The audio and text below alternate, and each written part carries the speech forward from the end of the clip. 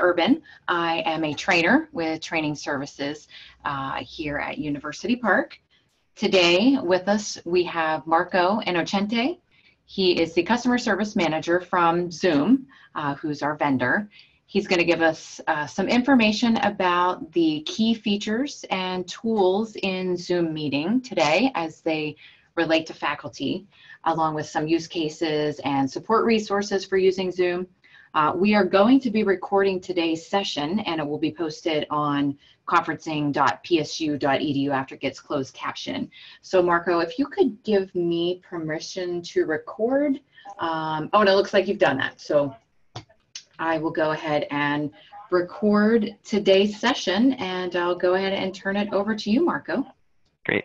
Uh, thank you for the introduction, Lisa, and hello, everyone. Um, as mentioned, my name is Marco. I'm a customer success manager here at Zoom, and we're going to go through today kind of some Zoom basics. Uh, just some housekeeping items so everyone's aware before we get started. Uh, you all have been muted by default coming into this session, but you can unmute yourself at any time if you have any questions that you want to ask.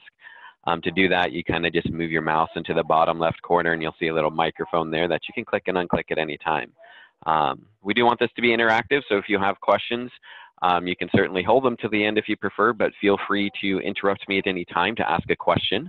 You can do that, um, again, by unmuting yourself and asking a question, or even typing it into the chat if you prefer. So with that, we're going to get started. So a few things that we like to say here at Zoom is that we are available on any device anywhere. What that really means is you can actually host or attend Zoom meetings from your laptop or desktop computers. You can host and attend Zoom meetings from your mobile devices. You can host and attend meetings from different Zoom room options, uh, conference room options, one called Zoom Rooms, which is proprietary, and then the uh, SIP rooms you maybe have set up. And of course, you can join over the telephone. So a few use cases and things that we're going to try and cover today, just the way that Zoom is being used in education, um, you know, different ways that it's enhancing the faculty experience around being, bringing, being able to bring in guest lectures without having to fly them in. Uh, you can just bring in a guest lecture at any time you want to. Um, you also have the ability to share live events, some online lecturing, interviews. Um, the tools for this are breakout rooms, guest access, recording. So we'll call these out as we go along. And again, we'll share this to make it available to you. Um, here's the agenda for today. Logging in um, is what we're going to cover first, getting into the web portal, scheduling um, within Zoom. So we're going to show you a few different ways that you can schedule in the Zoom interface. Um, we're also going to show you how to use the desktop client. So one thing to call out that when you want to host Zoom meetings, you do have to install a desktop client for that. Um, and the difference between the host and participating is that uh, like the host running the meeting, you need the client, but someone just joining your meeting does not need to install that client. And we'll take a look at that later, but it, and it's, and again, I'll call that out later. It is definitely something we want to make sure you're aware of. Um, we'll also take a look at the host controls. So the controls that are actually going to be available to you when you're hosting a meeting. We'll take a quick look at the mobile app and then we'll close it out with just the Zoom, how to get support around Zoom if you need it.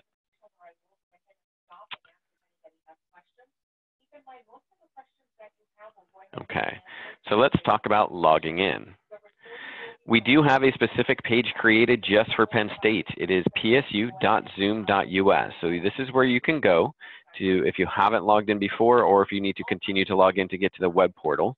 This is where you can go to kind of get your account set up if need be.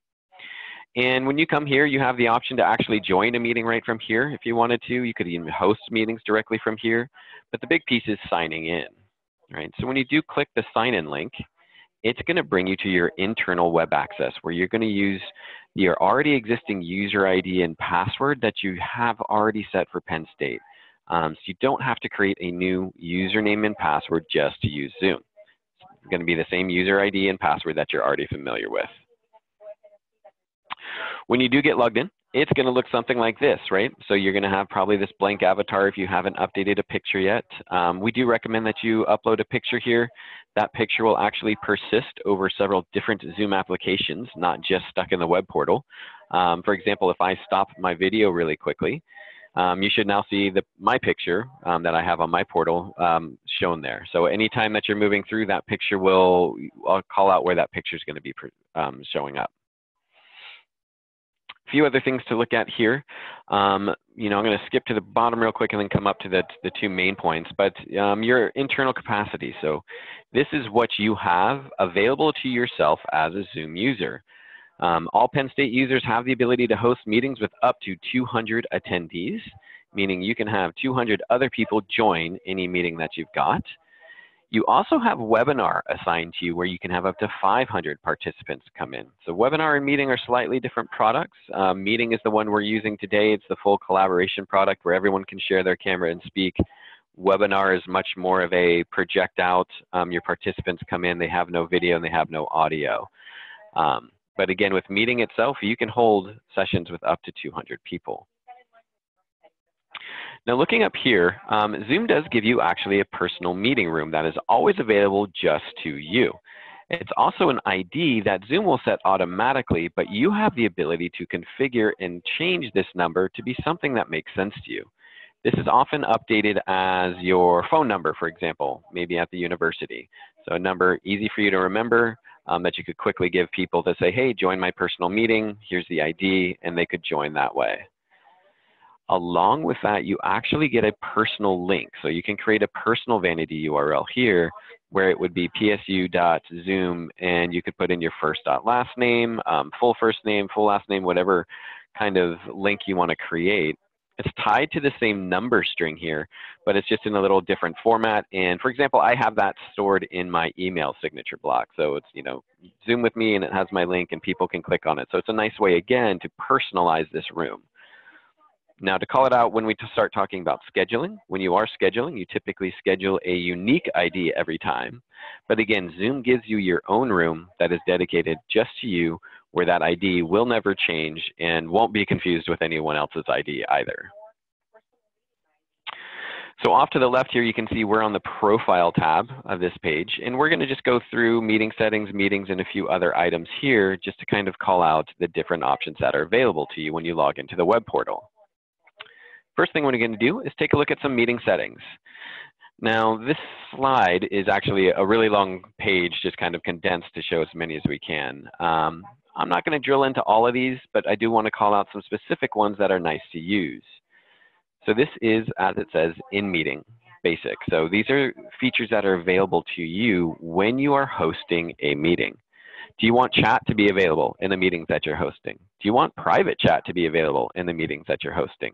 Um, maybe you want chat, but you don't want individuals that, to be able to privately chat between themselves if you're doing large lectures, perhaps, um, and don't want the students sending private chats to themselves over Zoom that you have no visibility into, the kind of thing you maybe want to uncheck if you want to make sure that you can use the annotation tools. So I'm using one of them right now. This is the Spotlight. We'll look at these in more detail later.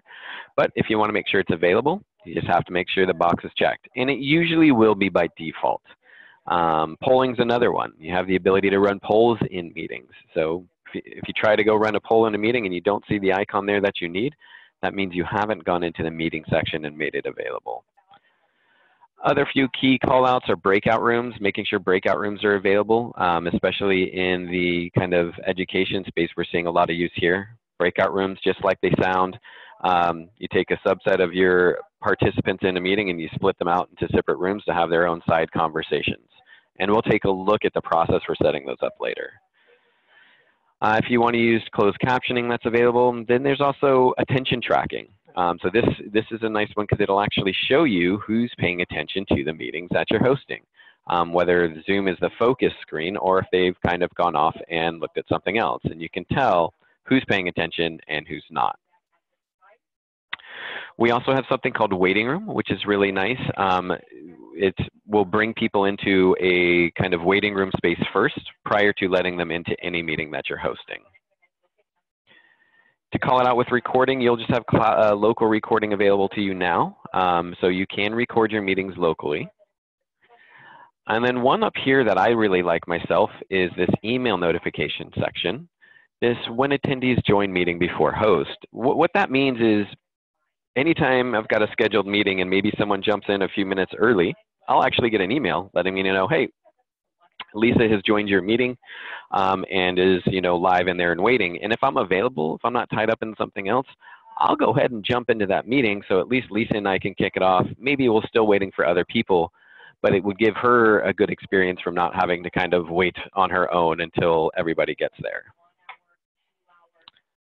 Another call out on this page is this scheduling privilege. So this is used kind of in the admin um, example of, you know, an administrator that perhaps has access to your calendar as well. You know, maybe they book things for you on your calendar. You could actually have them book Zoom meetings for you also. So for example, if, you know, I was uh, Lisa's administrative assistant and I owned her calendar where I booked all of her normal meetings, she could in here give me scheduling privilege and I would be able to still schedule as I normally do, but then also schedule a Zoom meeting for her, which would be her license as opposed to mine. So I wouldn't have to be there as the admin assistant to kick it off and transfer it over. Lisa could just show up at the right time, click the link, and get moving, and everything would be associated with her account. Moving down to the next tab now, onto the meetings themselves. So when you first come here, the view that you're going to see is upcoming meetings. So this is going to show you all the scheduled and recurring meetings that you have set where you are the host of Zoom. So not, not meetings you've been inviting to, it's not a calendaring thing per se, but it does show you all the meetings you scheduled where you are the host of a Zoom meeting. So you can see I have a lot of recurring meetings here, but I could page over and then I would get to anything that's a calendar, like a, a daily invite as well.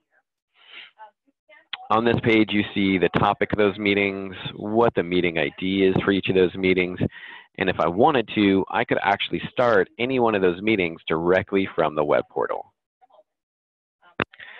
I'm going to move over to the, uh, the third tab here, this personal meeting room. So this is again that personal meeting ID. Um, this is this is from mine, where you can see that 805-738-5283. That's my desk line here in Santa Barbara. Um, and you can see what my vanity URL looked like, which we talked about earlier, where it's got my name in it. And then you can configure some settings here. Um, by default, do you want your host video to be on or off anytime you join? And you can change that, of course. Um, participants as well. Do you want anytime someone joins your personal meeting ID for their camera to be on? Um, or maybe you want to make them feel a little more comfortable by default anytime they're join their camera is off, but they could always turn it on when you ask them to it a, a little bit later. You could require a password to this. You could do something that's called enable join before host, which means they could actually get into that meeting and be there before you join. The difference here is if you don't have this checked, someone coming into the meeting just will be presented with a little box that says, please wait for the host to arrive. My recommendation for your personal meeting ID um, on this page here is to not have enable join before host checked. We'll talk about it again when we're doing scheduled meetings in just a second, but I highly recommend for your personal meeting ID, you don't have this option checked. Um, that way you don't have to worry about people joining again what is your personal room without you being aware. Okay, we're going to move down now to the reports tab. There's a big kind of jump into screen size there, sorry. So you can also run reports on the meetings that you've hosted, right? So when you are hosting meetings and you have obviously participants coming in, you have the ability to see, hey, who showed up to the meetings I hosted? So you go to the reports tab, you drill into what would be usage. What you're going to want to do then is set your time frame and be aware. Um, so the maximum that this report can show is for one month the maximum time back that it can go is six months. So six months worth of data, one month at a time. Um, you will see the default view that looks like this when you bring it up and it'll show you all the topics that were held during that time frame, what that meeting ID was, when that meeting um, started, or when it was created, when it started, when it ended. So you'll get to know the duration of that any particular meeting. And then you can actually click on these participant lists here to see who attended you would click on one of these, it would give you a participant list for who came into that meeting, and you can see how long each person stayed, and you can also see their attentiveness score. So how much were they actually paying attention to that meeting that you were just hosting that they were in. And of course, you can export this list into Excel so you can have it for yourself at a later date.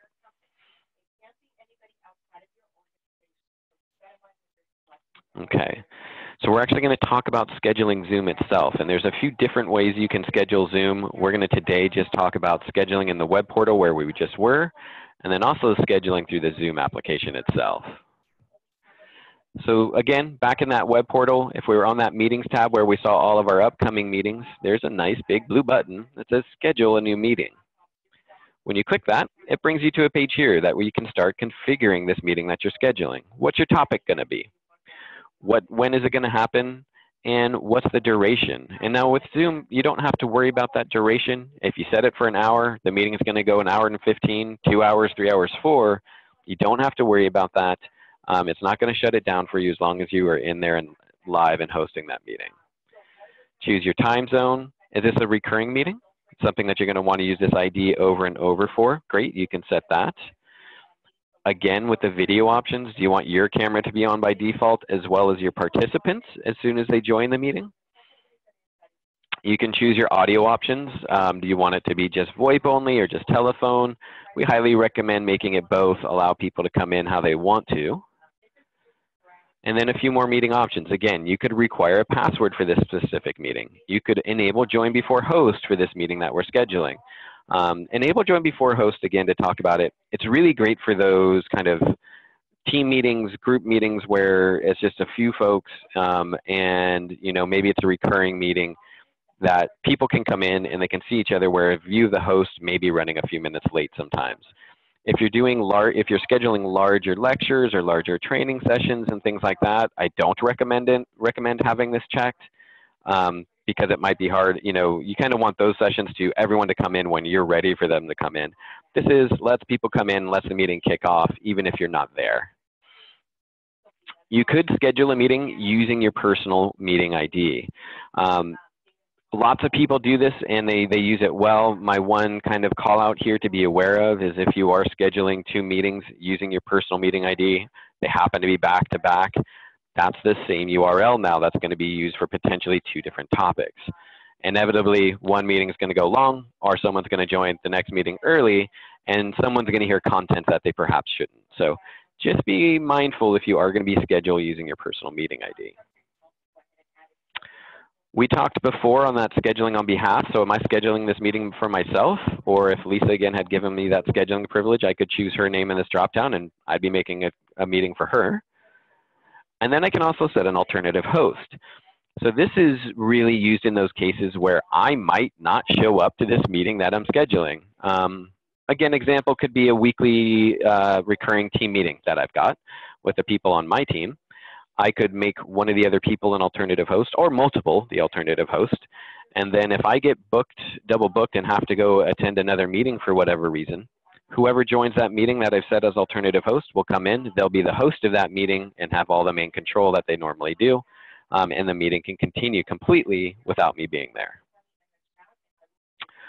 Once I have this all set the way I want, I've got my nice big schedule button here. I press schedule and it brings me to a review page letting me see how I've set everything up. And if you had uh, either Outlook or Google, you could add it to the relevant calendar as well. Or you can copy this invitation and drop it into the other calendaring system that I believe you may be using. So this is one way to schedule meetings. The next I'm going to show you is from the client app itself. So we're going to take a deeper dive into the client also in just a minute. Um, but for the client itself, when you want to schedule using this desktop application, you've got a nice big button here that says schedule.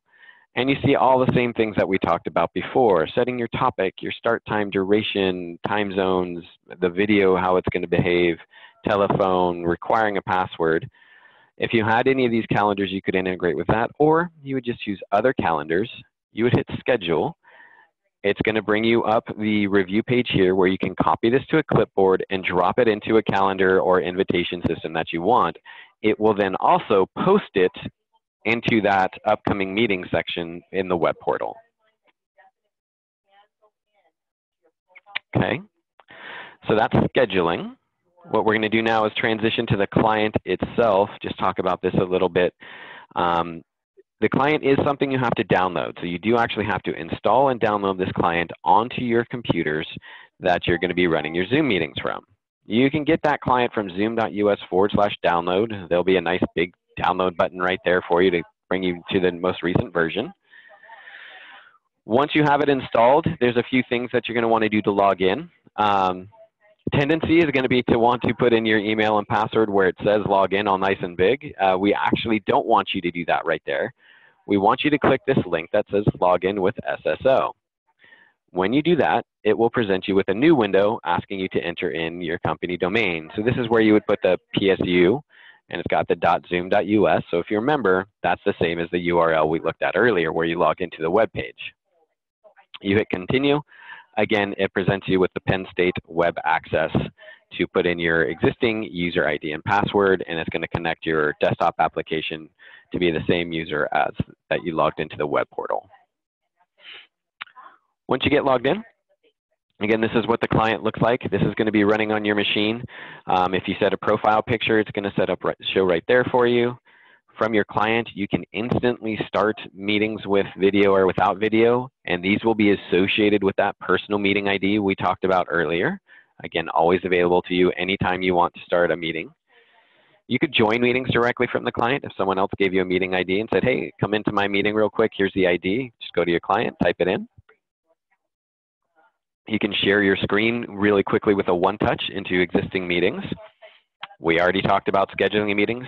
Um, and then there's also this settings section here. Uh, so we just got a question, what is the Zoom client app? So this is what we're talking about right now. So it is, the client app is something that you need to download in, in order to be able to host a Zoom meeting. So your participants don't need this. Um, anyone coming into a Zoom meeting can just click the link you provide them with and they come right in. But if you are hosting Zoom meetings, you do need to have this client application downloaded. Again, you get that at zoom.us forward slash download. This is what it, after you log in, what it's going to look like on your machine. And then these are all the controls that it gives you um, once you've installed it. So as a host, this is something you're going to need to have running on your machine. We're going to drill into the settings first, and then we're going to take a look at this bottom ribbon as well. So we're on the home page here. This is where we see the host, the gear icon here to get into settings. We're going to click that, and we're going to talk about some few settings that are best practices that we recommend setting up, and just some general ones to kind of review. If you happen to be using dual monitors, you can check that with Zoom. Go ahead and have that set. Um, underneath here, these two are normally checked by default, enter full screen automatically when starting or joining a Zoom meeting and enter in full screen when someone starts sharing their screen. You know, personally, I have these two unchecked. I don't like when I join a Zoom meeting or share my screen in the Zoom meeting for it to take over my entire desktop and screen. It's a personal setting. I, I like to have it. If you uncheck that, Zoom just starts and lives in its own little window, um, just like any other application versus taking over your entire desktop um, personal preference, but I do a lot of trainings and I do a lot of things and I like to kind of make sure I know where my Zoom window is and maybe where my other applications I was working where are. Um, a few other callouts here, or perhaps the biggest callout here, if you are running Windows, so if any of you are on Windows machines, there's this top one here, Start Zoom when I start Windows. Highly recommend you check this if you are running Windows machines. You don't have to do this with Macs. Um, Mac by default will always have the application started and running in the background for you. Um, with Windows, you do have to choose for it to behave that way. And then anytime you start your computer up on Windows, Zoom will, that Zoom application will be running and you'll already be logged in and everything will be fine for any time you're trying to host meetings. So strong recommendation, Windows, make sure you check this box. Next tab over is audio, um, and here best practice, highly recommend, as soon as you install this client, go into the settings like we did, go to the audio tab and test your audio settings to make sure you've got the right configuration that you're looking for, whether you're gonna want it to be your headset that you've got on your computer or if you're gonna want it to go through your internal mic and speakers, whatever it may be, but you really wanna make sure you configure and test these before hosting any meetings, especially before hosting any large meetings. Um, another call out here as a setting is this always mute microphone when joining a meeting. I have this one set for myself, and what that means is anytime I join a meeting that anybody's hosting, no matter what, I come in muted. So if I'm fumbling with my headset or something else is going on, I don't have to worry about distracting them. I, by default, am going to come in muted to that meeting. Um, the next one is video. So much like audio, you can choose your camera source if you have multiple available. So if you've got uh, external kind of USB camera or versus your internal one, you can switch between the two and you can set which one you want to be the default when you're normally doing Zoom meetings. And much like the audio, you do have the option to always turn off video when joining a Zoom meeting. So anytime you join a meeting, if you don't want your camera on by default, there is a setting where you can flag that for yourself right here. I'm going to skip over and move to the record tab here. So again, you have the ability to record your Zoom meetings locally. What that means is they will be stored on the desktop of the computer that you're running that session from. Uh, Zoom will create a default folder path for you um, in the documents folders, but you can change that file location. If you don't like them to be labeled Zoom and you want to put them somewhere else that you're, that you're comfortable with, you can change that file location. There's also an accessibility tab here where if you are going to be using closed captioning live in a meeting, um, what that means is you would have to have another participant or yourself actually typing into the closed captioning field, but you can control that font size if you need to in the live sessions. And then there's another checkbox here that I, this is again something that I use personally that I really like. Um, always display all the action buttons, and I'll talk about what those are, but the action buttons are all those buttons like the microphone, the camera that kind of maintain along the bottom. You move your mouse there, they pop up. You move your mouse away, it goes down. I have that checked so those action buttons are just always up. It's a great way for me to see everything that I want to right in front of me without having to worry about it. Coming back to the client itself now, out of the settings section, again, we have multiple, uh, a, few options here along the bottom ribbon. We were on the home page. Um, if we move to the meetings page here, what we actually have is similar to the web portal, right? When I look at my meetings on the desktop application, I actually see all of my upcoming and scheduled meetings here also.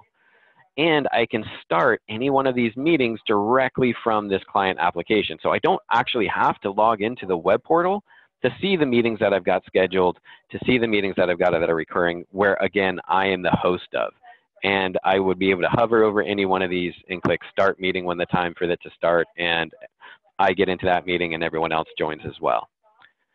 Also, there's the little recorded, there's the recorded tab is the second one here. So I can see all the meetings that I've recorded and I can open them right from here. I can view the recording. It takes me to the, the local file and I could delete it from here if I needed to as well. So again, from the desktop app, really powerful. You can start any one of those meetings that you've got scheduled for yourself.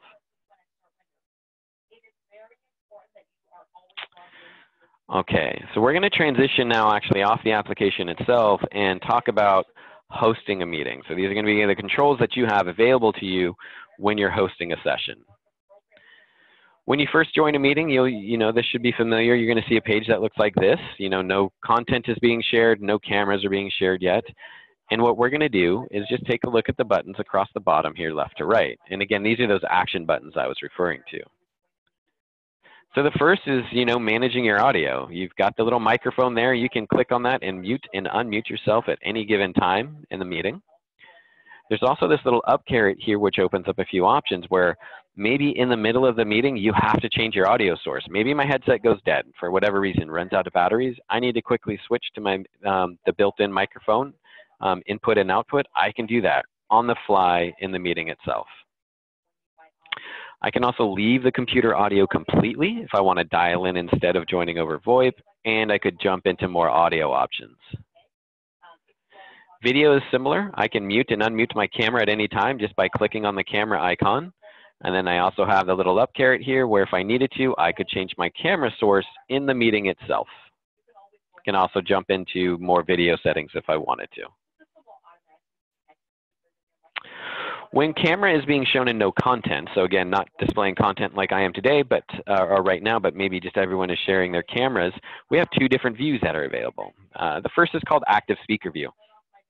And this will be the default view when you join uh, meetings. And what that means is the person that is speaking is going to take up the largest amount of real estate on your screen. And as each person speaks, it kind of, Zoom will just automatically translate them down into the bottom section taking up that page. We also have something called gallery view. And what this does is it right sizes all the tiles of everyone that's in the meeting. And then whomever's speaking actually gets highlighted. Um, so gallery view is one of those great things again to use for kind of smaller sessions and team meetings where everyone's going to be very collaborative and you know maybe each person's going to have a chance to speak or whatever it were. Um, it's a really good way for everyone to work together and kind of give it that in live meeting feel. You toggle between the two views right here in the top right corner, where you can toggle between speaker view and gallery view. And again, this is when content is not being shared. Gallery view also can actually have up to 25 people on a single page. So again, you can hold meetings with up to 200 people. All 200 could be displaying their video. We'll show 25 on one page, and then you could page over to each successive page to see 25 more, 25 more, 25 more within the gallery view. So everyone could be sharing their cameras, and you can have everyone on there and just page through to see who each, who, who's online.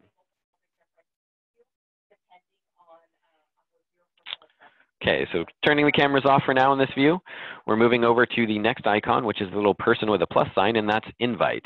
And not to be confused with what we saw earlier with scheduling and potentially inviting someone through um, whatever calendaring tool or email tool you use. This is, I started a meeting, I am live, and I want to invite someone to this meeting right now.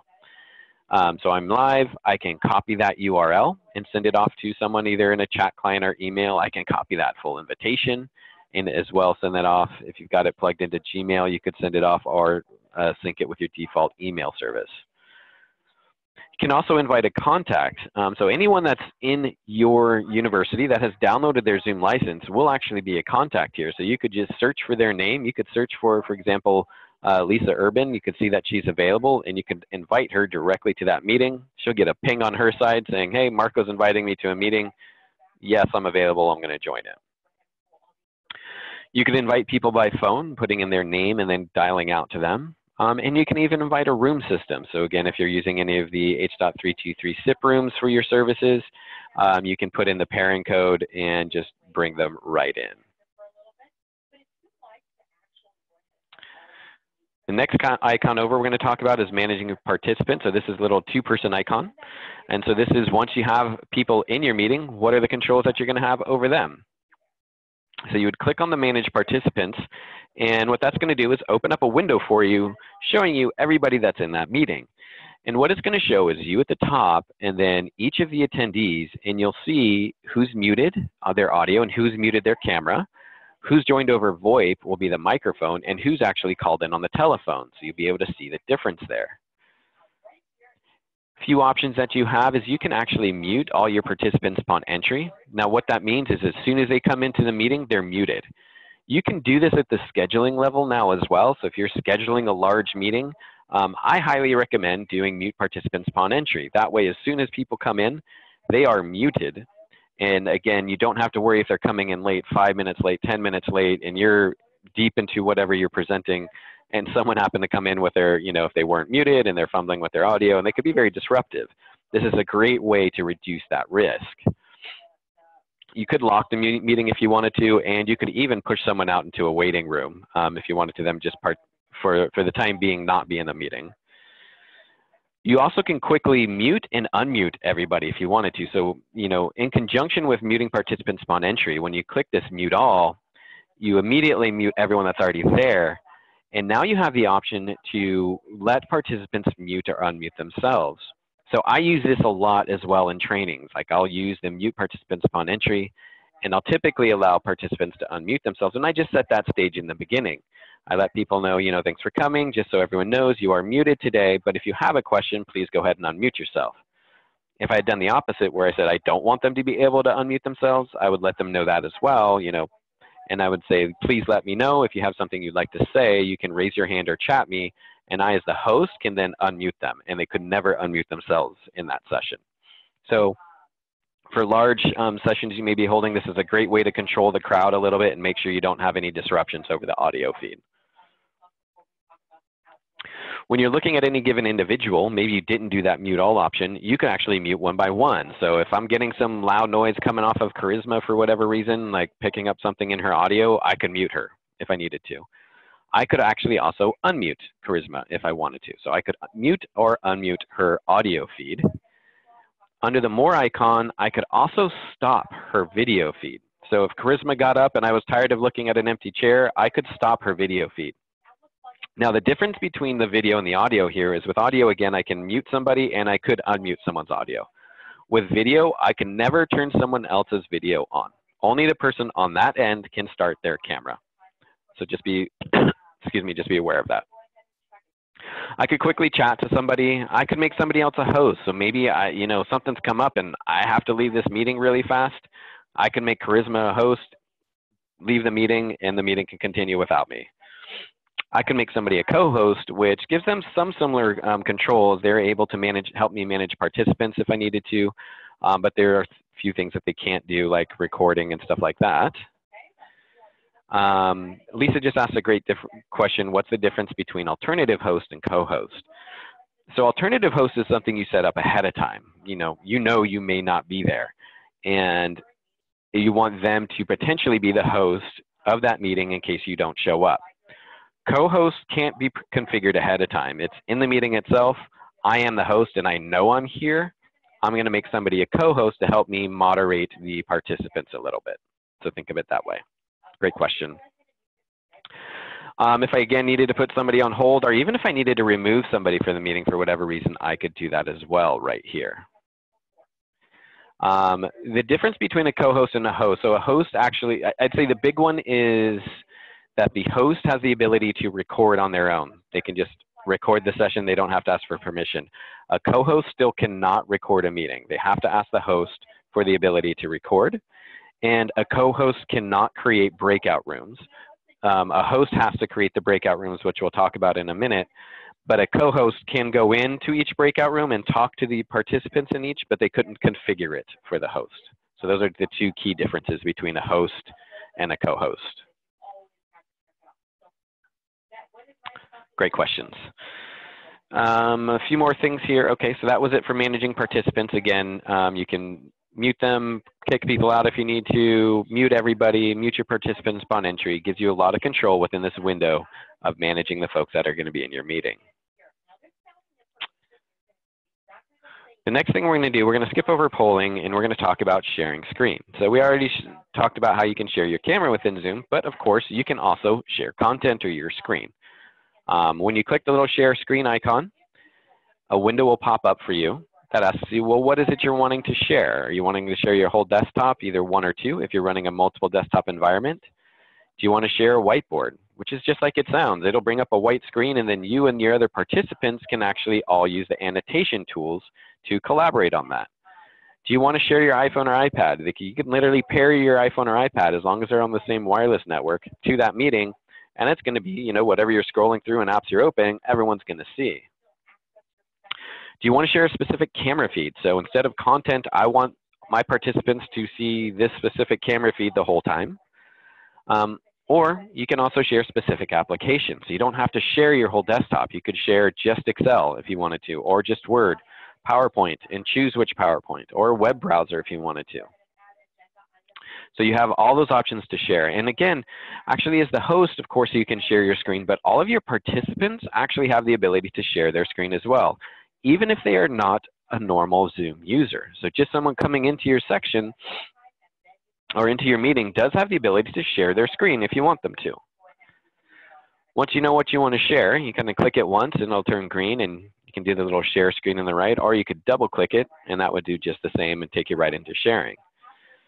Now, one thing I want you to notice, we're going to pretend that we're going to share screens here. Um, all those action buttons that were along the bottom, once you actually hit share screen, though that bar now moves up to the top of your screen. And just so you know, this also isn't locked. So it does move up to the top, but you could actually move that around with your mouse if you need to. But now you see your audio is there. Again, as a host, you need to unmute or mute yourself, your video. You can get into managing your participants, all the things that we saw before. But now what we have is this concept of new share, right? So we were sharing our screen and now we've got this concept of new share, which brings up that same window. Now this is a subtle difference um, and new share is something once you get really comfortable with Zoom, you'll start using more and more and it's a really great feature. Especially if you're gonna be sharing something like PowerPoint and then later in your session you want to share Word. Um, you know, you can do the stop share, which is the normal tendency. So if you stop sharing you know, everyone comes back to their cameras and then you could share the new application and, you know, it just gives a slightly disjointed experience where if you do new share, it's a seamless transition. Um, and just to kind of maybe demonstrate that a little bit, what I'm going to do is stop sharing really quickly, say, like, I want to go now and share my, um, you know, share my desktop. Well, to do that, I'm going to do stop share, which now brings back the cameras. You know, all sharing is gone, and you can kind of look around. And then I would do new share or share screen again to share my uh, browser. So you can see how it dropped us out of one and then now brings us back to sharing. Well, this time I'm going to do that new share I talked about. And I'm going to now choose my PowerPoint again. So what happened in that case now is instead of dropping into the videos and now a new item, it just a seamless transition between the two items that I was sharing. You can pause the sharing at any time as well if you want to. So if you want to kind of just pause on that screen and no one sees what else you might be doing, you can do that. And then you just click play again to resume. And then again, there's the annotation tool. So I'm using one right now. I've been using the Spotlight, but anyone in your meeting can also annotate. So again, if you're using that whiteboard feature or if you're using, um, you know, just anywhere a picture you want people to draw on, your participants, including all of you in this meeting right now, could draw on the screen. You can choose, do you want to use a line? Do you want to use, um, you know, boxes and shapes, you know, filled shapes, translucent shapes, open shapes, arrows, check marks. All of you guys can, can do these as well. See, someone's doing one right now. So each person can write on there. And, um, and it's a great way, again, to collaborate if you're working on a specific image. And then you could save that, right? So whatever you work on, everyone collaborates. You're like, yep, this is exactly what we wanted. I'm going to save it. And then I can share it out later with everybody. Choose your colors. So each person can choose a different color so that it can distinguish, you know, who's, who's doing what, who's typing what. And then as a host, you also have the ability to clear your own drawing and clear everybody else's also. And again, saving it is a really big piece here. If you come up with something that you really liked, all work done together, you can save that. The next option is remote control. So basically giving someone keyboard and mouse, mouse control over your computer. Um, you know, use case of this is, you know, we're doing a really big PowerPoint here today. Maybe, you know, Lisa herself had about five or six slides that she owned and would have talked to when we got to those, I could have given, I could give her keyboard and mouse control so she could click through at her pace instead of perhaps having to say, next slide, Marco, please. Next slide, Marco, please. Not a huge deal, but a slightly disjointed experience for everybody there. Under the dot, dot, dot more, this is where we see, you know, some of the other key action item, action buttons around chat, the breakout rooms and the inviting, again, recording.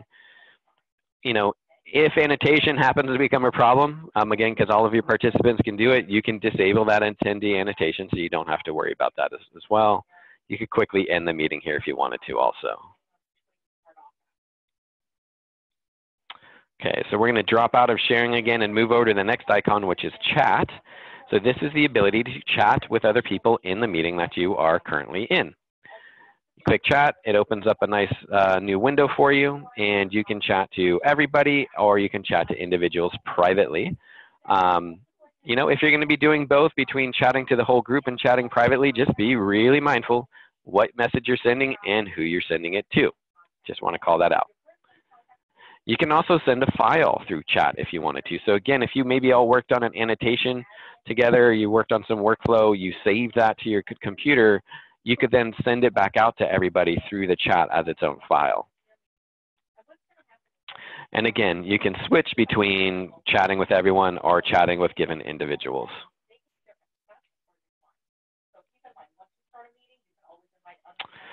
Record right here, nice little record button that you can pop up and you know, again, you'll have record on this computer is the option. Once you're recording, you do see the little bubble, and you have the ability to stop a recording or pause the recording. A big difference here is if you know you've got a 15 minute meeting or you know call it a half hour meeting you record for 10 minutes you stop recording for 10 you record again for 10 you actually end up with two 10 minute recordings where if you'd use pause you know record 10 pause 10 record 10 you'd end up with one 20 minute recording so it's just a small thing to call out between there Again, those recordings will be stored to your local computer with a file that Zoom creates, and you can, of course, update that path, as we saw earlier in the settings of the client application. Okay, the last icon here, these little kind of four uh, the four tile here is the breakout rooms, right? So this is again pushing people out into different rooms so they can have their own conversations. So you're going to push them into their own meetings. When you click on breakout rooms, you get a window saying, "Hey, I notice you've got six people in this meeting. Uh, you know, how many rooms do you want to create? Um, two. Do you want it to happen automatically, where Zoom just decides who goes where, or do you actually want to choose who you're pushing into each room? So if you choose manually, you do create breakout rooms.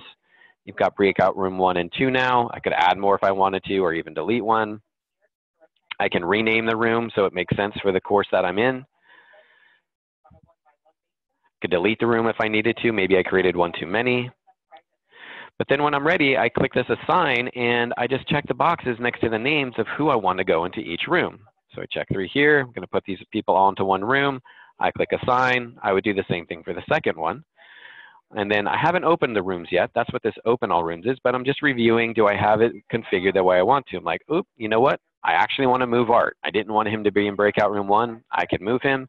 Better yet, I can exchange him if I need to, to keep the rooms even.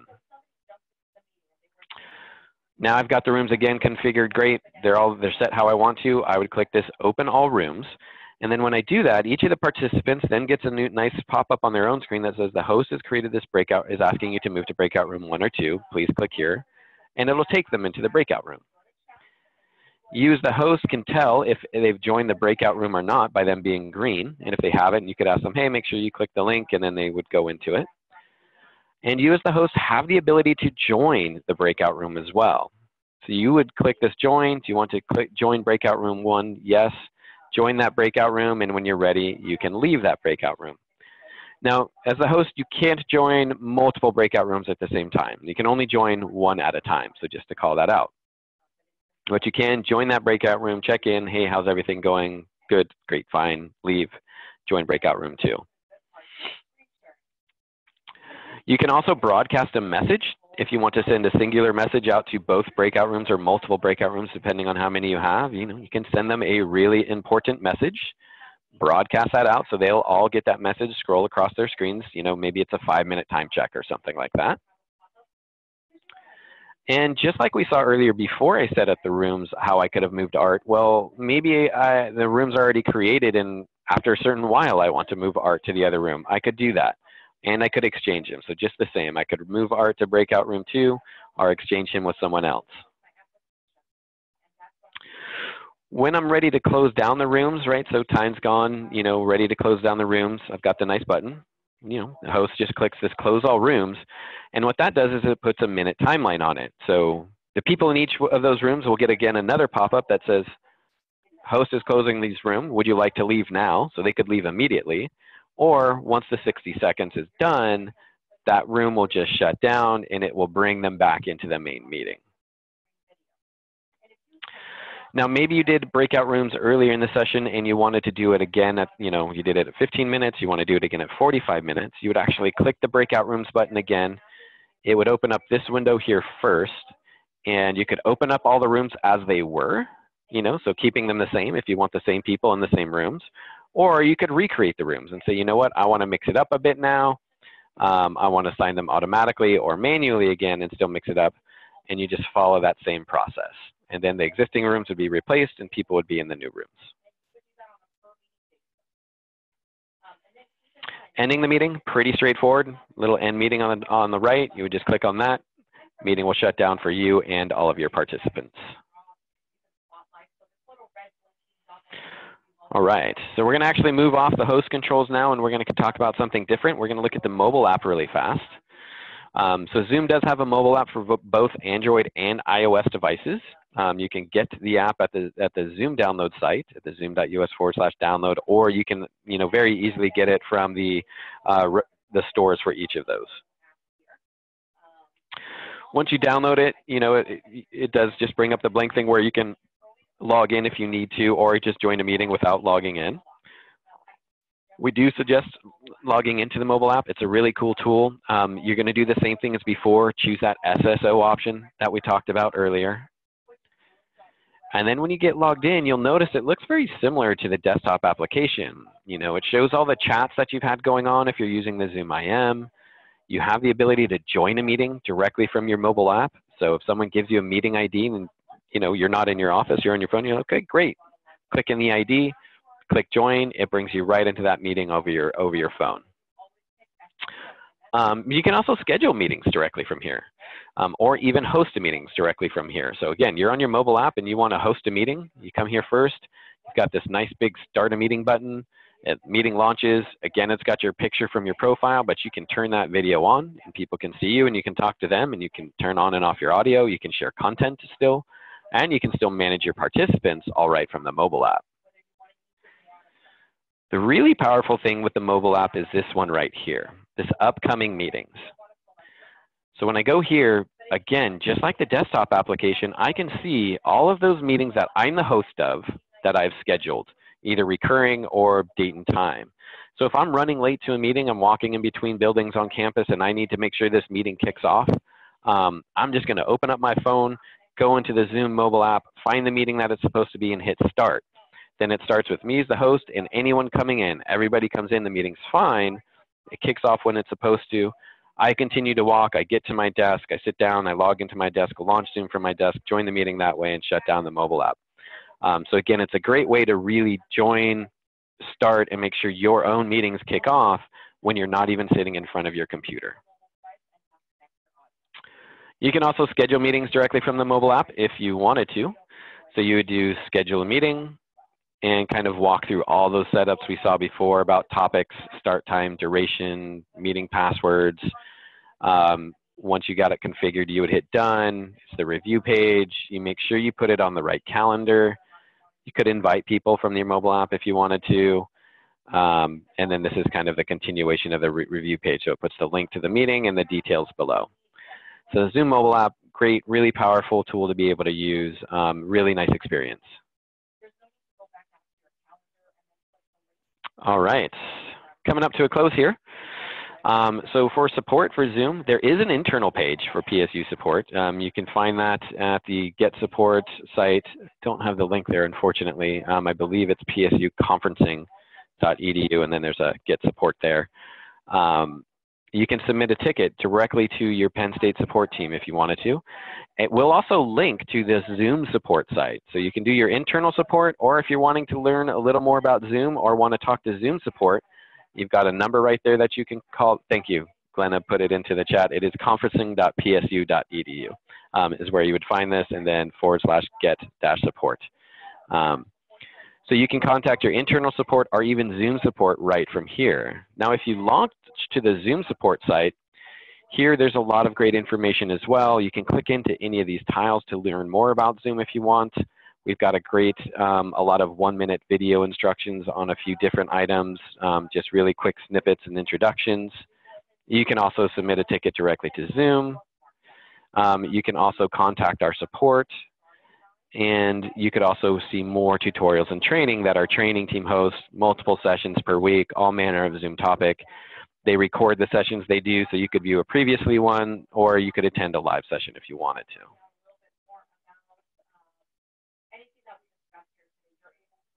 to. Okay. Um, so turning to the questions now, I do have another one in the chat, Greg asks, uh, which headset microphone combination do you recommend to best conduct Zoom meetings? Um, you know, I don't know if we have like a pure recommendation because a lot of that's going to be internal, what you have available to you through the university. Um, they may create a recommendations page, um, but I just use a Plantronics headset um, and a Logitech uh, camera, you know, pretty simple ones that you can get. Um, but I know lots of people, you know, and I even host them as well when I'm on the road and I have my laptop, I'll just plug in my iPhone uh, headset and it runs still just fine. So a lot of that's just going to be what you have available to you, but a good uh, USB camera is always recommended for like real high quality video.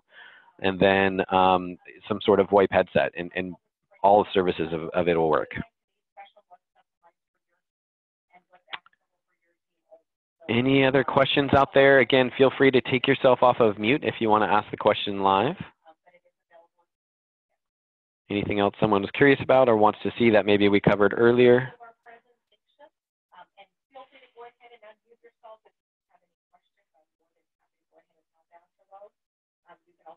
Okay.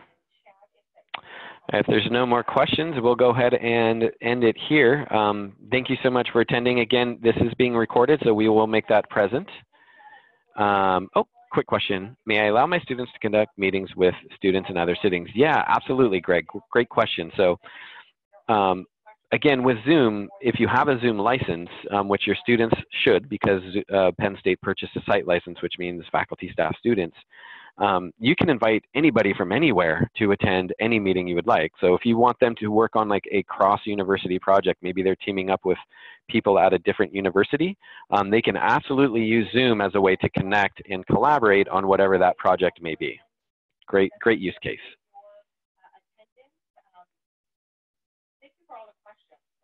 Okay. So again, this recording will be made available. Oh, still going. Can students start their own meetings? Uh, yes, Lisa, I believe they can. Once it, the, the full launch happens, students will have access to Zoom as well.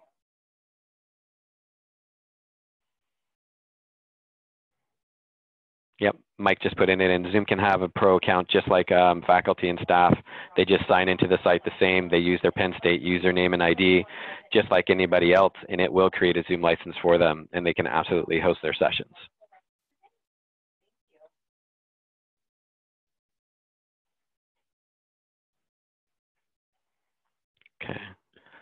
Let's see if I ask again if there's any more questions, because that's what, every time I say we're going to shut down, another question comes. So um, if there's nothing else, then maybe we will really call it now. We are at time. Um, if you do have questions, again, go to that, the internal support site for, for Penn State. You know, you can ask your questions there.